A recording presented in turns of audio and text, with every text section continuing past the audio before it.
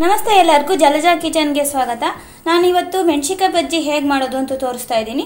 First ಇದಕ್ಕೆ ನಾನು ಮೆಣಸಿನ್ಕಾಯಿ ಬಜ್ಜಿಗೆ ಸೈಡ್ಗೆ ತಿನ್ನೋದಕ್ಕೆ ಹೇಗೆ ಮಾಡ್ಕೊಳ್ಳೋದು ಅಂತ ತೋರಿಸ್ತಾ ಇದ್ದೀನಿ ಗೊಜ್ಜನ ಫಸ್ಟು ಎರಡು ಈರುಳ್ಳಿಯನ್ನು ಈ ಥರ ಚಿಕ್ಕ ಚಿಕ್ಕದಾಗಿ ಅಜ್ಜಿಟ್ಕೋಬೇಕು ನಂತರ ಒಂದು ದೊಪ್ಪದು ಕ್ಯಾರೆಟನ್ನು ಈ ಥರ ತುರ್ಕೊಂಡು ಇಟ್ಕೋಬೇಕು.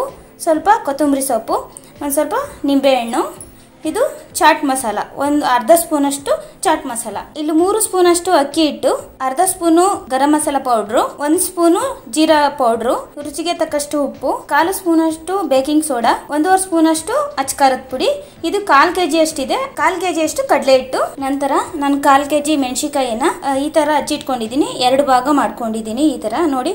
ಇನ್ ಕೇಸ್ ನಿಮ್ಗೆ ಬೀಜ ಬೇಡ ಅಂದ್ರೆ ತಕ್ಕೋಬಹುದು ನಾನು ಹಾಗೇನೆ ಹಾಕ್ತಾ ಇದ್ದೀನಿ. ಸೊ ಈಗ ಮೆಣಸಿಕಾಯಿ ಬಜ್ಜಿ ಹೇಗ್ ಮಾಡೋದು ಅಂತ ನೋಡೋಣ, ಬನ್ನಿ. ಮೊದಲಿಗೆ ನಾನು ಕಾಲ್ ಕೆಜಿ ಕಡಲೆ ಹಿಟ್ಟನ್ನ ತಗೊಂಡಿದ್ದೀನಿ. ನಂತರ ಮೂರು ಸ್ಪೂನ್ ಅಷ್ಟು ಅಕ್ಕಿ ಹಿಟ್ಟು, ಅರ್ಧ ಸ್ಪೂನ್ ಅಷ್ಟು ಗರಂ ಮಸಾಲ ಪೌಡ್ರು, ಒಂದು spoon jeera powder. In case ನಿಮ್ಗೆ ಜೀರಾ ಪೌಡ್ರು ಇಲ್ಲ ಅಂದ್ರೆ ಜೀರಿಗೆ ಹಾಕೋಬಹುದು ಕಾಲು ಸ್ಪೂನ್ ಅಷ್ಟು ಬೇಕಿಂಗ್ ಸೋಡಾ, ಒಂದೂವರೆ ಸ್ಪೂನ್ ಅಷ್ಟು ಅಚ್ಕಾರದ ಪುಡಿ, ರುಚಿಗೆ ತಕ್ಕಷ್ಟು ಉಪ್ಪು. ಇಷ್ಟನ್ನು ಹಾಕೊಂಡು ಮಿಕ್ಸ್ ಮಾಡ್ಕೋಬೇಕು.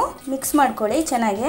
ಈ ತರ ಮಿಕ್ಸ್ ಮಾಡ್ಕೊಂಡಿದ ನಂತರ ಇದಕ್ಕೆ ಸ್ವಲ್ಪ ಸ್ವಲ್ಪನೇ ನೀರ್ ಹಾಕೊಂಡು ಮಿಕ್ಸ್ ಮಾಡ್ಕೋಬೇಕು. ಉಂಡೆ ಉಂಡೆ ಇರಬಾರ್ದು. ನೋಡಿ, ಈ ತರ ಕಲಿಸ್ಕೋಬೇಕು. ಹಿಟ್ಟನ್ನ ನಂತರ ನಾನೊಂದು ಬಟ್ಲನ್ನು ತಗೊಂತಾ ಇದ್ದೀನಿ. ಇದಕ್ಕೆ ಹಚ್ಚಿಟ್ಕೊಂಡಿರೋಂಥ ಎರಡು ಈರುಳ್ಳಿಯನ್ನ ಇದರಲ್ಲಿ ಹಾಕೋಬೇಕು. ನಂತರ ಎರಡು ಕ್ಯಾರೆಟ್ ಅನ್ನ ತುರಿದಿಟ್ಕೊಂಡಿರೋಂಥ ಕ್ಯಾರೆಟ್ ಅನ್ನ ಇದ್ರಲ್ಲಿ ಹಾಕೊಳ್ಳಿ. ಕೊತ್ತಂಬರಿ ಸೊಪ್ಪು, ನಂತರ ಚಾಟ್ ಮಸಾಲ. ಸ್ವಲ್ಪ ನಿಂಬೆ ರಸ ಹಾಕೊಂಡು ಚೆನ್ನಾಗಿ ಮಿಕ್ಸ್ ಮಾಡ್ಕೋಬೇಕು. ಚೆನ್ನಾಗಿ ಮಿಕ್ಸ್ ಮಾಡ್ಕೊಳ್ಳಿ. ಮೆಣಸಿಕಾಯಿ ಬಜ್ಜಿಗೆ ಸೈಡ್ ಡಿಶ್ ಆಗಿ ತಿನ್ನೋದಕ್ಕೆ ತುಂಬಾ ಚೆನ್ನಾಗಿರುತ್ತೆ. ಚಟ್ನಿ ಕೂಡ ಮಾಡ್ಕೊಂಡು ತಿಂತಾರೆ. ಈ ತರ ಮಿಕ್ಸ್ ಮಾಡ್ಕೋಬೇಕು. ಈಗ ಸೈಡ್ಗೆ ಇಟ್ಕೊಳ್ಳೋಣ ಇದನ್ನ. ನಾನು ಆಲ್ರೆಡಿ ಪಕ್ಕದಲ್ಲಿ ಎಣ್ಣೆ ಕಾಯಕ್ಕೆ ಎಣ್ಣೆ ಕಾದಿದೆ. ಈ ತರ ಒಂದು ಡ್ರಾಪ್ ಅನ್ನು ಹಾಕೊಂಡ್ರೆ ಮೇಲೆ ಬರಬೇಕು ಹಿಟ್ಟು.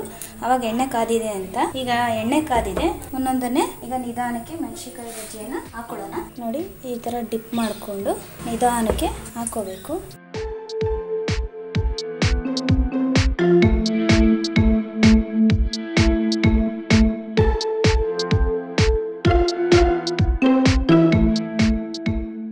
ಇದು ಲೋ ಫ್ಲೇಮಲ್ಲಿ ಇಟ್ಕೊಂಡೇ ಕರಿಬೇಕಾಗುತ್ತೆ. ಯಾಕಂದರೆ ಇಲ್ಲಾಂದರೆ ಮೇಲೆ ಮಾತ್ರ ಕಪ್ಗಾಗ್ಬಿಡುತ್ತೆ ಒಳಗಡೆ ಬೆಂದಿರಲ್ಲ, ಅದಕ್ಕೋಸ್ಕರ. ಇದು ಗೋಲ್ಡನ್ ಬ್ರೌನಿಶ್ ಕಲರ್ ಬರೋವರೆಗೂ ಕರಿಬೇಕು ಮೆಣಸಿಕಾಯಿ ಬಜ್ಜಿನ ಈ ಅಕ್ಕಿ ಹಿಟ್ಟು ಮತ್ತೆಲ್ಲ ಹಾಕೊಂಡ್ರೆ ಇದರ ಕ್ರಿಸ್ಪ್ನೆಸ್ ತುಂಬ ಚೆನ್ನಾಗಿರುತ್ತೆ ಟೇಸ್ಟ್ ಇದಾಗಿದೆ ಈಗ, ತೆಗಿತಾ ಇದ್ದೀನಿ ನೋಡಿ ಈ ಕಲರ್ ಬರೋವರೆಗೂ ಕರಿಬೇಕು.